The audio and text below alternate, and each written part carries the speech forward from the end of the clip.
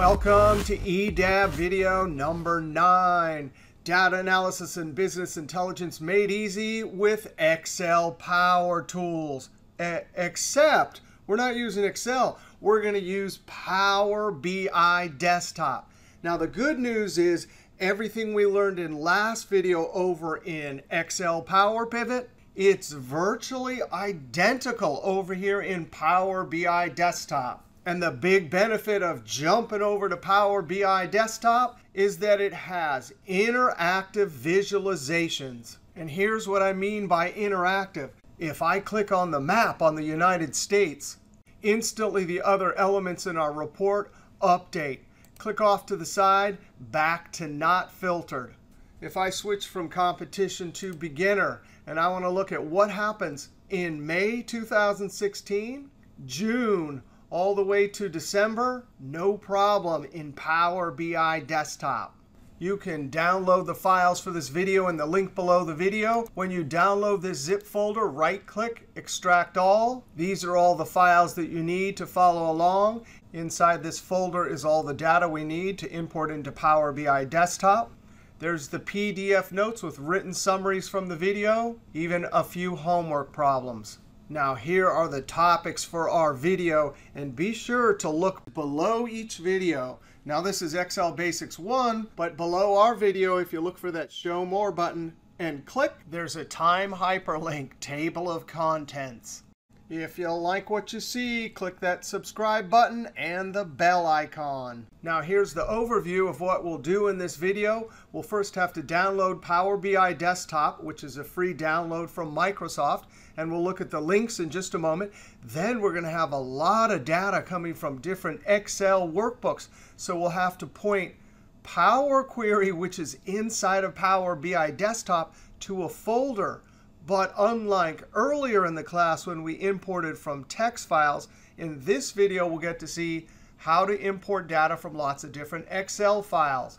Then we'll do our data modeling, import the tables, relationships, hide the columns, and DAX measures, and then we'll build our final visualizations. Now, how do you choose between Excel Power Pivot and Power BI Desktop?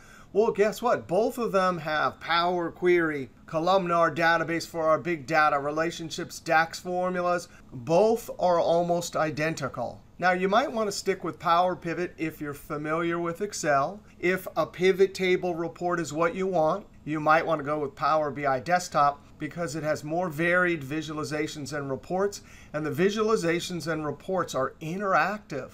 Now, in Excel Power Pivot, we can publish the Excel files but they're harder to share on any device. Not with Power BI Desktop. Next video, we'll see how to publish. And with Power BI Desktop, whatever report you create can be consumed on any device. Now, Excel Power Pivot does not have DAX table functions. In this video, we'll see a table DAX formula that can be used as part of the data model. And here's a drawback. DAX formulas calculate more slowly in Excel, but over in Power BI Desktop, calculate more quickly in Power BI. Now, this only comes into play when you have very big data. But if you're working in Excel and things are slowing down too much, as we'll see next video, you can actually send the data model over to Power BI Desktop and see if that works faster. I switch from Excel Power Pivot to Power BI Desktop when I want visualizations in Power BI rather than a pivot table. I want interactivity between the visualizations and reports, or I have too much data and I need faster calculation times over in Power BI. Proximate history of Power BI Desktop. In Excel in 2009, that was the first Power Pivot add-in. That's where we had our first glance of the columnar database, DAX formulas, relationships, and the data model. Power Query was debuted in 2013. Then all of these power tools were refined in Excel between 2009 and 2015. And then in 2015, Microsoft combined all these tools together and gave it away for free called Power BI Desktop. Now, there's different versions of Power BI. Here's the Microsoft website that describes each one of the versions. Power BI Desktop, Power BI Pro, and Power BI Premium. Now, we're going to use the Power BI Desktop. This is where we connect to multiple sources, clean and transform our data, do our DAX formulas, and build our dashboards. But in terms of publishing, with the free version, we can publish to the powerbi.com website. And there's some great services once we publish it, like printing, creating PowerPoint slides, and even creating the embed code that we can use in our own website that's viewable to the public. But what the free version is missing is when we publish it to powerbi.com, it's not like the pro version where we can publish it and have others view it on any device. Also, when we publish it here, if you don't want to publish it to powerbi.com, but you want to keep it on premises, then you want the premium version. Now, we are going to try the 60-day free trial because we want to see how amazing it is to publish our powerbi.com reports and view it on any device. But if you only have the free version, well, guess what? We can still share two different ways. We can do it the old-fashioned way. Simply email the .pbix file, and then the person can simply download the free version and view it. And of course, you can use the embed code option. Now, downloading Power BI Desktop. Guess what? There's two different ways we can download it. Microsoft Download Page and Microsoft Windows Store. But here's the deal. I've been downloading for the last few years from Microsoft Download Page. And that means every month when they update it, I have to go and re-download and reinstall it. If, however, you use the Microsoft Windows Store link to download, then you get automatic updates each month. After you download Power BI Desktop and open up a blank file, you'll see this. Because Power BI Desktop updates each month, this is really handy. Click this and go see the latest updates. I'm going to close this. Up in the title bar, untitled is not a good name. I'm going to use the keyboard F12. That opens up the Save As dialog box. I'm going to name it something smart. And notice .pbix. That's the file extension. Let's click Save. Now, everything is going to be in a different place and look different over here in Power BI Desktop compared to Excel Power Pivot. But internally, almost everything is the same. So for example, instead of the Get and Transform group over in Excel, Power Query is in the external data. There's our Get Data, where we can connect to different data sources. Over here on the left, if we hover, we can see Report, Data, Model. This report area, this is a blank canvas. Over here, we can see visualizations. We'll use those later. Now, this white area here is like an Excel worksheet. It doesn't have cells, but down here we can see there's a tab, and this is where we'll build our reports and visualizations. We can have different tabs with different visualizations on each tab. In Power BI Desktop, each tab is called a tab. All the tabs together are called a report. Now, we don't have in the data group any tables, but this is where we'll see our tables. This is where we'll build our relationships. So step one, we got to go and get our data. Doesn't matter which area we start from. This is eventually where the tables are going to land. So here's external data, come up to get data. Well, we have lots of Excel files in a folder. But wait a second, I don't see folder. Down here, more. Now I'm going to click more. There's the folder option. But before we jump in, let's go look at our data. Here are the Excel files. Let's open up 2014. On the sheet 2014, we have a proper data set with our field names in the first row. Now, Control down arrow. Wow, almost 90,000 rows of data. Control Home. Now, this is an Excel file. This is not going to be like when we imported text files from a folder earlier in the class. Inside an Excel workbook file, we can have many different objects. Now for us, we have control over our data. We know that in every single Excel file, there's exactly one object. That means there's one sheet. Each sheet has a proper data set. Now we're going to close this and go back to Power Query. Back here in Power Query in Power BI Desktop, Folder, Connect, Browse. we're pointing Power Query to this folder. It will import every file it finds. Click OK. Click OK. Click Edit. Not load or combine. Edit. Now this is the Power Query editor over here in Power BI Desktop. Step one, let's name this. F transactions and enter. Now just like with our text files earlier in the class, when we use from folder, it gives us a list of every single file. Clicking off to the side, not on binary, in this content column, I look down here, there's an Excel file. There's an Excel file. Now we want to remove all the columns except for content. So right click content, remove other columns. And what we do not want to do is click that combine button. These are Excel files. And because there can be many potential objects, that button is not going to work for us. We're actually going to have to add an extra column and use the excel.workbook function. So we go up to add column, custom column. We're going to call this column something like get Excel data. Down in the custom formula, this is the first time we're going to use a Power Query function. Excel.workbook, open parentheses. Now, Power Query functions are case sensitive.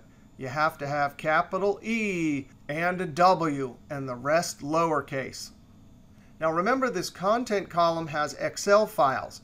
And what Excel.workbook will do is it will, from each row, get all of the objects in each Excel file. So I'm going to double click content.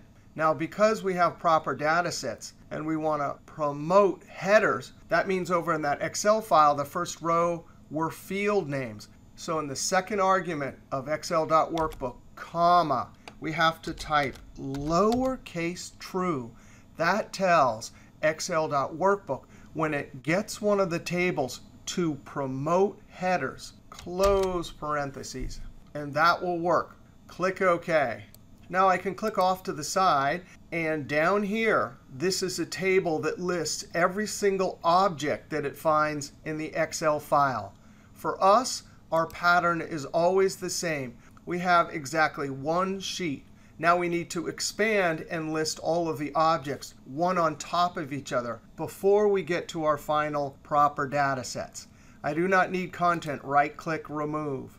Now I can use the Expand button. Click, uncheck Use Original. These are all the columns. Click OK. Now in the Data column, if I click off to the side, there's my proper data set. That's the next proper data set. Now, we don't have to do any filtering on any of these other columns, again, because we know that each Excel workbook has one object, the Excel sheet with the proper data set. Now, I could delete these and leave this column here, but watch this. I'm going to double click this to open this back up, because really in this case, when we're sure about one sheet in each Excel workbook, all I need to accept is the data column. Now I click OK. Now we can see our proper data sets. Now we can use this expand button. Click. I definitely want all of the columns. Click OK. And there, from all of those Excel files, we have appended or combined one on top of each other to get a single proper data set. Now we definitely need to go through and verify the names and the data types. Click the icon for data type, date, text, decimal, decimal, text, and units are going to be whole number. Now this is amazing. There's our query. There's our resultant table we're about to load or apply to the data model. There's all of our steps. Now we come back over to home, and this is a difference as compared to Power Query in Excel. We can simply click Close and Apply. The close means close this window. Apply means deliver this proper data set to the columnar database in Power BI Desktop's data model. So I click Close and Apply. It's working to get all of the data from each one of the Excel files. After the query has loaded, over here in Data or Table, we can see our table. Over on the right, we can see F transactions and the columns. If we ever need to edit that query, we have to go back up to Edit Queries. This opens up the Power Query Editor. I'm going to close this. If we go look at Relationship View, we have one table. Now we have two other tables we need to import. Another one of the files you're supposed to download is this one. If we open it, we need to import the country table and the product table. Now we'll use Power Query to look inside of this Excel file and choose just those two objects. Back in Power BI Desktop, Get Data, Excel file. Click, select the file, click Open.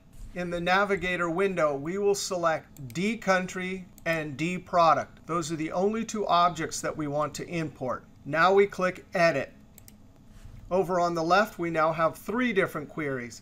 Select D country, verify names and data type. These are the steps. That name is fine. D product, we're verifying data types and names. The steps are fine. Now I can click Close and Apply, and, and these two new tables will be loaded to the data model. Click Close and Apply. Now look at this. When they were imported over here in Power BI Desktop, it sensed the relationship and built it automatically but we want to verify that the relationship is pointing to the correct columns, and they are. Our next task is to create the date table or calendar table. Now, last video, we saw that Power Pivot had an automatic button to do that. And that automatic button over in Excel looked through the date column in F transactions and automatically extracted the correct number of days. We don't have an automatic date table over here in Power BI Desktop. But we can go over to Tables, over to Modeling, and there's a new DAX Table button. I'm going to click New Table. Up in the Formula bar, I'm going to call this ddate equal, and they named this function smartly Calendar tab. It just needs the start date and the end date. Well, we have to look through the entire F transaction date column and find the min date. F transactions, down arrow to date tab, close parentheses. Now that's not quite what we want because if the date is not the first of the year, we need to change it. The way a date table works is that first column has to have every single possible day from every single possible year in the fact table. So I want to use the date function to construct the correct first date in the year. So we're going to use the date function we need the year of the min date. So I type year, close parentheses. Now, comma. Well, the month is always going to be 1. Comma. The day, well, January 1st, so I put a 1. Close parentheses. So with that construction right there, we have created a DAX formula that will always look through the F transaction and find the first day of the year for the minimum date in the transaction table. Now I'm going to copy this, come to the end, comma, Control V, because now we don't want min. We want to look through the F transaction and get the max date, but then the month is 12 and the day is 31. All right, now I'm going to hit Enter select the column, data type. I'm going to say, please data type, date. I could also add some formatting. I'll select this one, click. So what we did here is we actually created a table using a DAX table function, and it was added to the data model. Over here, we can see ddate table, date column. Over in our relationships, there's our date table. Now we can create a relationship, and then we'll create our attribute columns. I'm going to click and drag over to F transactions. So we have one to many date relationship. Now we'll go back over to table or data view. And in the modeling ribbon tab, calculation group, these are our three options. Over in Power Pivot, we can create measures and calculated columns. But in Power Pivot, they don't have this button. But over here in Power BI Desktop, we have all three. Now last video, the automatic date table feature added the columns. We're going to have to manually create those. So I'm going to click on New Column. Up in the formula bar, let's type month number equal, and then the month function.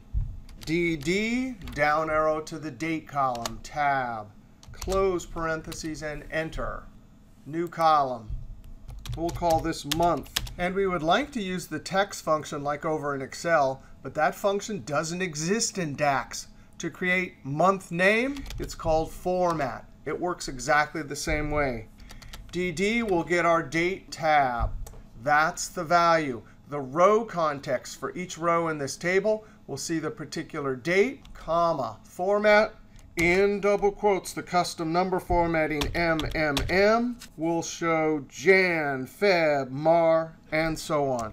End double quote, close parentheses, and enter. Now, just to show you, we didn't get to see this last video, but we know we have to sort month using this button here by month number. But let's go over to report view. And here's our date table. Let's just drag month into the white blank area and drop.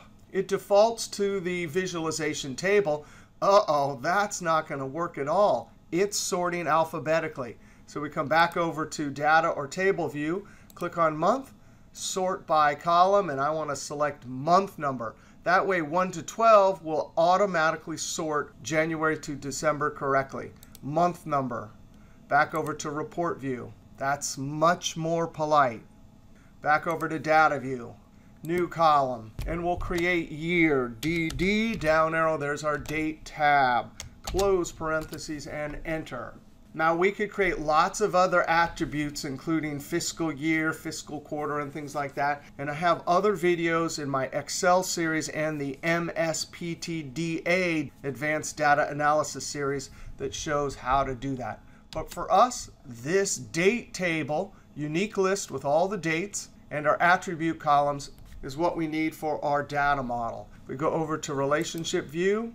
That is looking good. Now we need to create measures for total revenue, total cost of goods sold, total gross profit, and total units. I'm going to go over to data or table view, select my F transaction table. Up in modeling calculations, now we click new measure. Just as we did last video, total revenue. And watch this. For the calculated column we just created in our date table, the assignment operator was equal sign. That's the same in Power Pivot. A calculated column uses an equal sign. But a measure over in Excel Power Pivot requires a colon and an equal sign, but not over here in Power BI Desktop. All of our formulas just require an equal sign. Now we're going to have to use SUMX. That's our iterator. Instead of adding an extra column like we did last video in Power Pivot for line item revenue, I want to do it all in one measure because I want to calculate the line item revenue for every row in the F transaction table, in the first argument of our SUMX iterator, we type F transactions, tab, comma, expressions. That's our whole formula. Now we are going to need to round each line item revenue. So I use the round function. In the number argument of round, I need to take price from the D product table. That means we're looking it up, multiply it by number of units, and then 1 minus the revenue discount. Our exact match lookup function in DAX is called related. Because there's a relationship, I just tell my formula which column in the lookup table has the thing I want to go and get. So retail price, close parentheses. For every line in the F transaction table, even though we're in a measure inside an iterator, that related could see the row context for every single row in that table and always look up the correct price. Now I multiply times F transactions. There's our units. Times, in parentheses, 1 minus F transactions. And the actual number of pennies of discount assigned to each line. We take that and subtract it from 1, and that will give us the net amount of our revenue. Now, number has our full calculation for our revenue, comma. We're rounding to the penny, so I put a 2. Close parentheses. That's the full expression that will calculate for every row in F transaction. And then the sum part will add every single one of those values. Come to the end, close parentheses, and enter. Now, this is different than Excel Power Pivot. In Excel Power Pivot, we build the measure in the measure grid, and we can see the result. If we look over here in F transactions, that's the icon. That means this is a measure. We still need to add some number formatting. So I'm going to add some number formatting. What I like to do is go over to Report View. And we want to come over and create a multi-row card. This will be like our substitute for the measure grid. We'll check total revenue and it appears in the card. That's without any filter context. That's just the grand overall total. Now let's go back over to data or table view. I make sure that my F transaction table is selected. Click on total revenue, highlight formula, control C, escape. Now I'm going to click new measure, control V, total cost of goods sold. And we need to change two things. I don't need retail price. I type in S for standard cost. So I'm looking up standard cost instead of the retail price. And then I can delete all that. F transactions. And we want net cost equivalent. And that's our formula for total cost of goods sold. Now, maybe it's faster that you just type it out, but copying, pasting, and changing a few things usually works faster for me. Enter. And look at that. I have a rogue parentheses and a little red squiggly. It's like spell check over in Word. Backspace and Enter. Now let's add some number formatting. Go over to Report View. Click on our card. And I'm going to check Total Cost of Goods Sold. And there it is. Back over to Data Table View. Make sure we have F transactions, new measure total gross profit equal sign. And our convention for using measures and other measures is we use a square bracket. So you type a square bracket. And internally, it knows that that's the convention. So it gives you a list of just the measures. Total revenue tab minus square bracket, up arrow, tab, enter. Number formatting. Over to report view.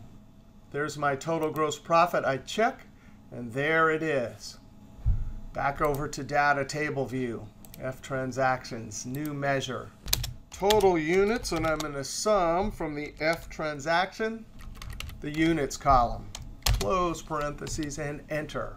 I'm going to use thousand separator with zero decimals. Over to report view, we'll check total units. And there are our DAX measures. If we go look at relationship view, we imported table, created relationships. We have some measures. I need to hide some columns now. Country code all the way to units. Notice we do not want people dragging units from the field list over in report view because that would create an implicit measure. If we want a calculation, we explicitly create a measure. So I'm going to hide all of these columns. Hold shift, click, right click, and over here, it's not hide from client tool. It's hide in report view. Retail price, standard cost, right click, hide in report. Country code, hide in report. Month number, hide in report. And there we have finished our data modeling. Now let's go over and create our reports. Report view, I'm going to double click here and type tests, enter. Come down here, add a new sheet. We'll call this gross profit analysis. Click the plus, double click. We'll call that one units analysis and enter. Back to gross profit. On this page, we want to analyze gross profit by year and month, product, and by country. Now, in our first visualization, I want a cross-tabulated table that has month and year and then gross profit. The visualization for that is the matrix. So I'm going to click the matrix. We can move it around, and sometimes it's tricky. You want to usually point to the outside edge, and we don't have the same move cursor as we do in Excel and Word. I just see my diagonal white arrow, and I can click and drag. Now from D date, we're going to drag month over to rows, and I see my months. Now we want year in column. There's the year. F transactions. Notice over here in Report View, all I see is the icon for my measures. I can check gross profit, and it throws it down to the values. Now we can resize it. And for each visualization that we create, if we look over here, this is fields. This is where we drag and drop the fields, kind of like a pivot table. But unlike a pivot table where you select different elements and then format, over here in Power BI Desktop, that paint roller is the format area. I click, and here's all of the different sections or parts of that visualization that we can format. For example, I could go to grid, come down to text size 8. I'm going to increase it to 9.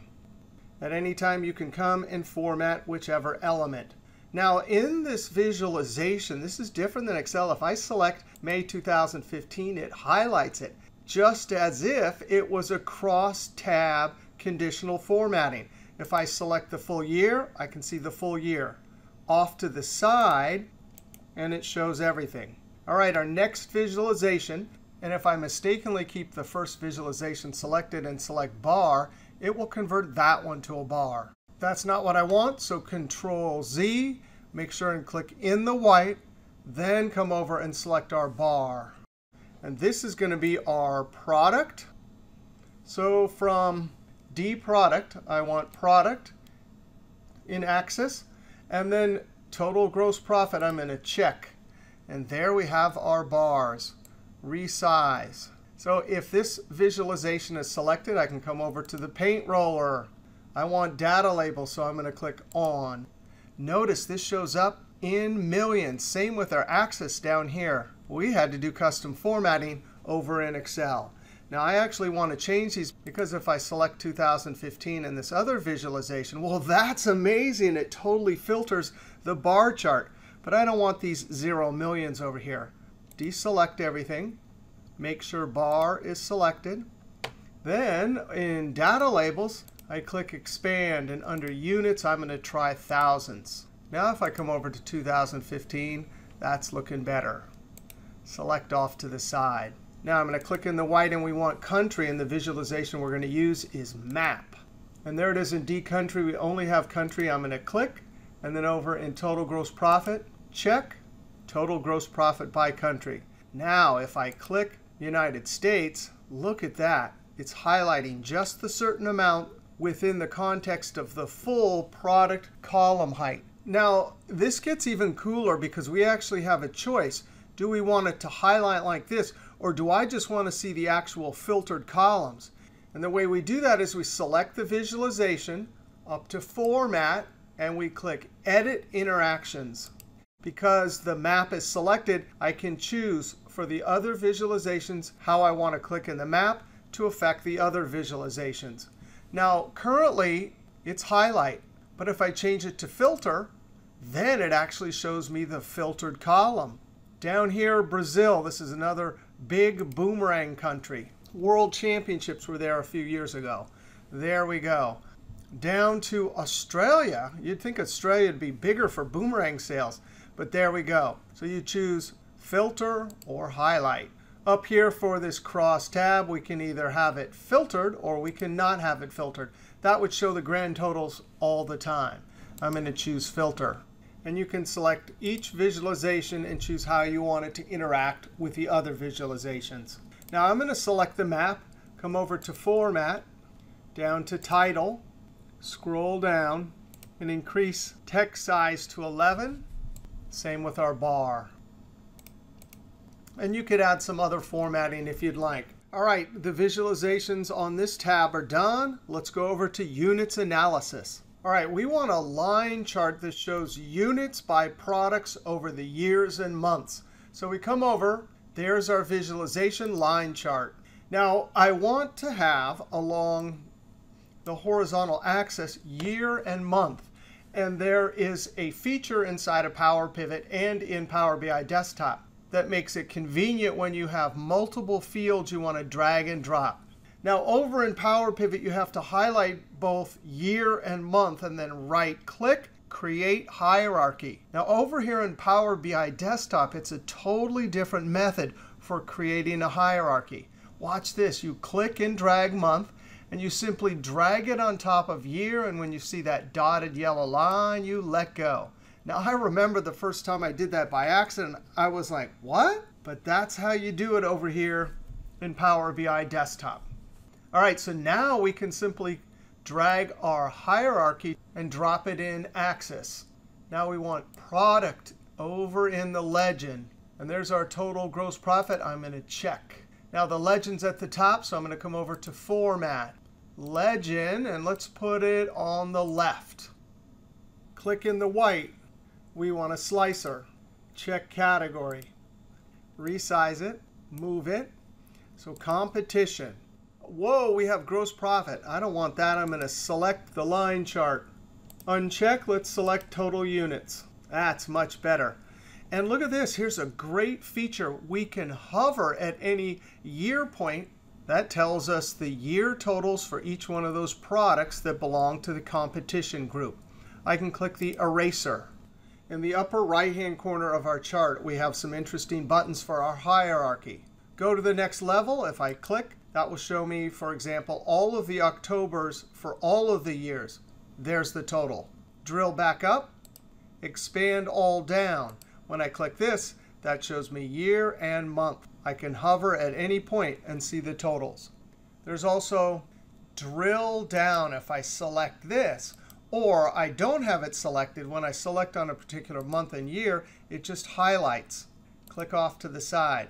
But if I have drill down on, now I can, when I start at the top, drill down by clicking in the chart. Those are the unit totals for products for the single month October 2017. I can come over and select my slicer. The competition group I can see up in the legend.